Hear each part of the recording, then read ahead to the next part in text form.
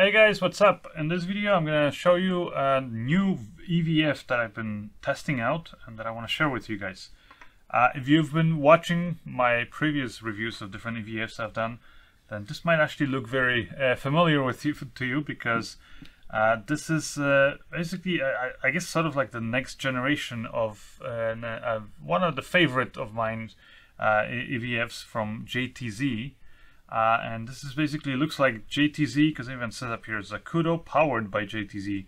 Looks like the two companies, the two kings of EVFs, uh, have basically come together to create this one, the Kameleon EVF, and it's a really cool product. Uh, I'm gonna kind of talk about the, the, the good things and then maybe not, not the not so good things. But uh, overall, if you want to just know my opinion, it's a great EVF. If you're looking for an EVF that's uh, basically going to give you pretty much all the functionality. Uh, there's really only like two small complaints that I have about this. Just a quick sort of recap. If you've watched my previous sort of reviews or comparison of different EVFs that I've done, you you you'll probably remember that I uh, like I loved the JTZ one. I loved you know a lot of these features, but when it came to uh, just the quality, the quality of build, um, the software, all that stuff, Zacuto was the best. Problem for me with that EVF was uh, it was uh, only basically SDI. And for me, obviously, if I'm going to invest money in an EVF, I want something that, that I can use with multiple cameras. So SDI is great when I'm working with, you know, with an Arri camera or my Ursa cameras.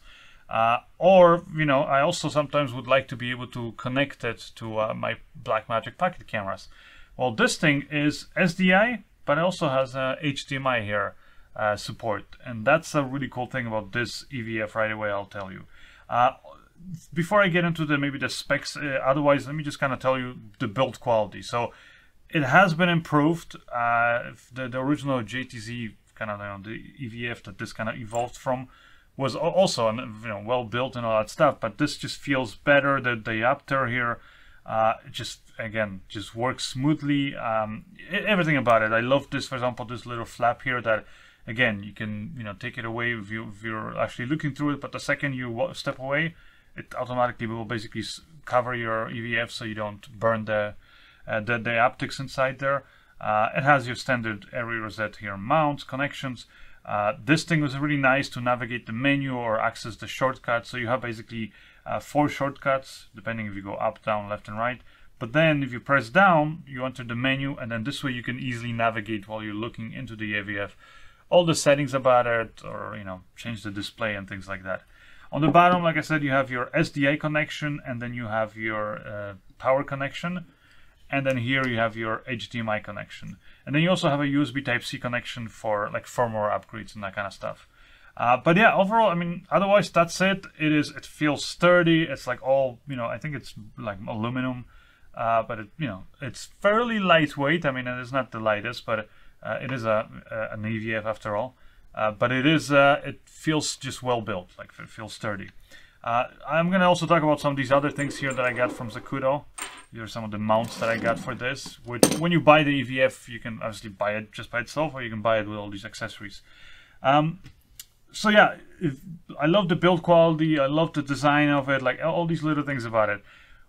And like I said, I really love the fact that finally Zacuto has an EVF that's not just SDI, that also has the HDMI. Not only that, but I mean, this is pretty much in a way, in almost every way except two, which I'll get to, in almost every way, this is better than the Gratical. What I mean by that is resolution's higher. This is full 1080p uh, display. The Gratical is, you know, is lower than that. This is, I believe, 1280. Um, this is 16 by 9 aspect ratio. One thing maybe I liked about the Gratical is the fact that it had that square sort of aspect ratio that below you can see, you know, you, you can basically see unobstructed what your camera is seeing and below you have all the information and things like that. This one kind of overlays the information, but again, it's not a problem because you can quickly toggle on and off all that stuff. So, so it's, it's again, it's not a problem. Uh, it's just, if you were to ask me, my preference is kind of having that stuff down below. Uh, that's just me personally.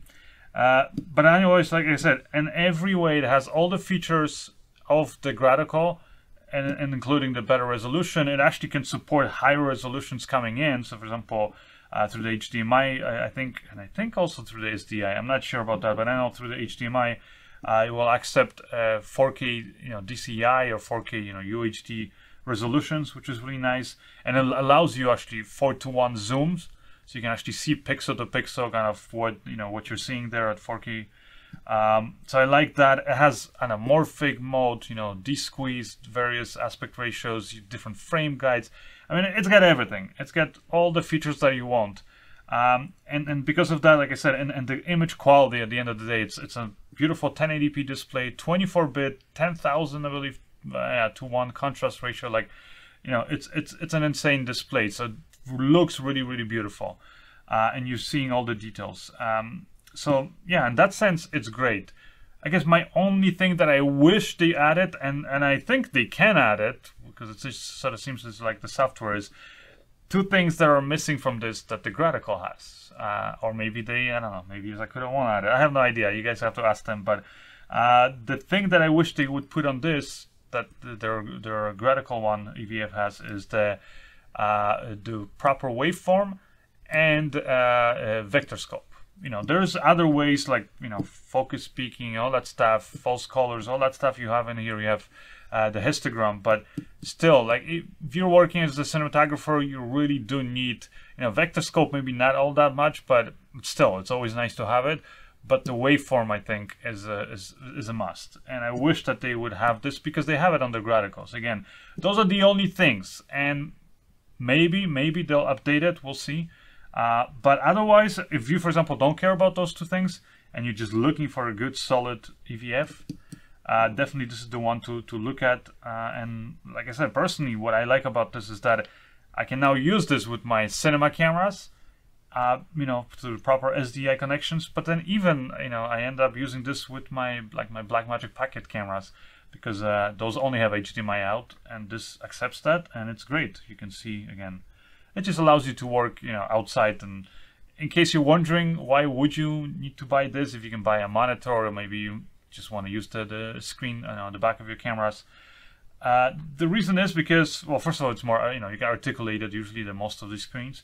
But this is mainly for, like, if you're working on an actual film set, a lot of times, if you're working, especially on an indie set where it's a closed space, you don't want to have a big, uh, you know, big screen that puts out a lot of light when you're working, especially in low light uh, settings.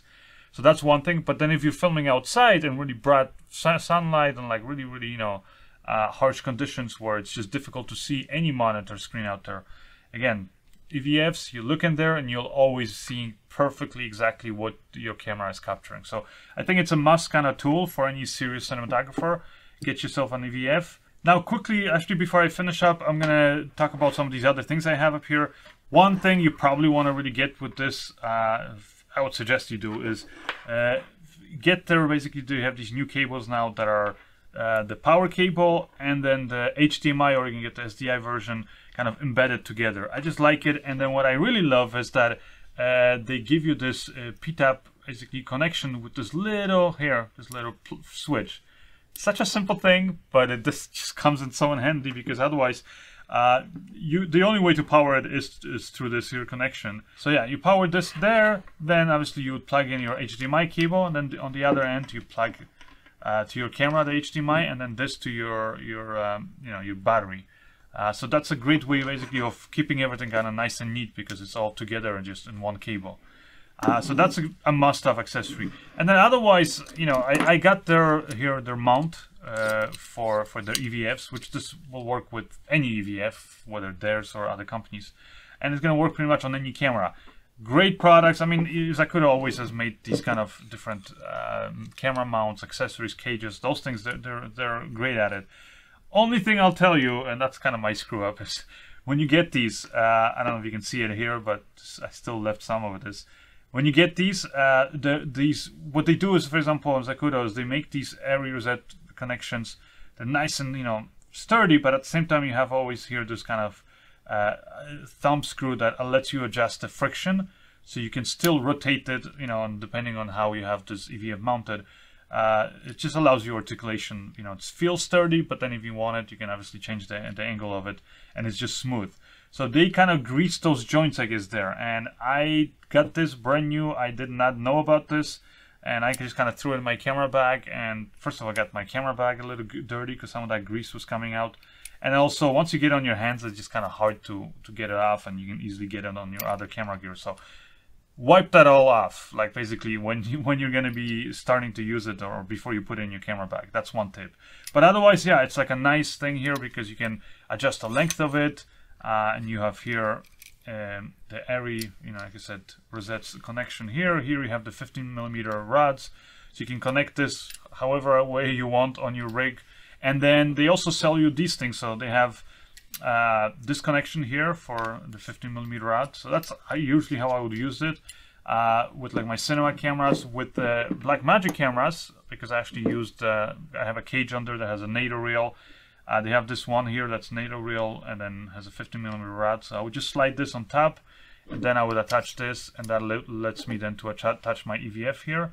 So that's a great way of attaching it. And if you, for example, let's say have a camera or a cage that doesn't have uh, NATO rail, then again, Zacuto has a ton of these cool little things to kind of build your own rigs. But yeah, they have this NATO rail that you can get.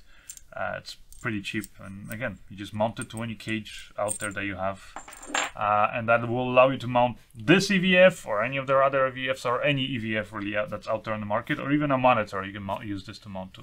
Anyways, hopefully you guys enjoyed this video. If you did uh, and you want to find out more info uh, about, for example, some of the sales on this EVF or some of the other EVFs or look at the, my previous comparison where I looked at other EVFs that have, you know, alongside the, the Zacuto Gratical, then uh, as always, you'll find all of that and more on my website at tomantosfilms.com. While there, don't forget to subscribe to my newsletter uh, so that you stay up to date when I release these new videos.